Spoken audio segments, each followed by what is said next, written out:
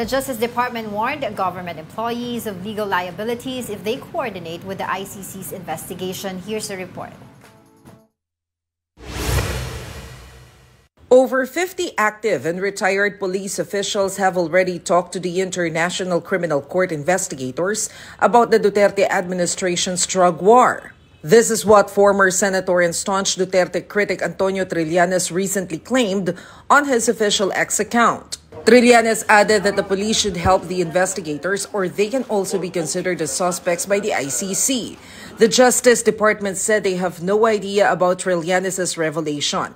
But if this is true, they have a warning for government officials who are talking to the ICC. So when a, uh, a government officer or official is uh, coordinating with the ICC against you know, the, um, the, the direction or the orders and the policy of the government, there may be accountability um, involved. DOJ has reiterated that the ICC has no jurisdiction in the Philippines, and coordinating with them can be considered as a conflict of interest in the government's foreign policy.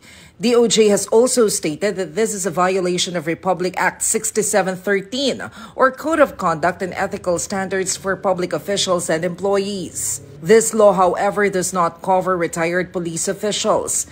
The Philippine National Police is also unaware of Trillanes' claims and reiterated their unwillingness to cooperate with the ICC. Kung ikaw ay isang active personnel at uh, you, uh, you are uh, performing any activities that is contrary to what is uh, being uh, stated uh, officially ng PNP po, then eh, posible po na may kakaharapin pong uh, uh, sanction po ang sino mga pulis na hindi po susunod doon sa tinatawag po nating uh, chain of command po.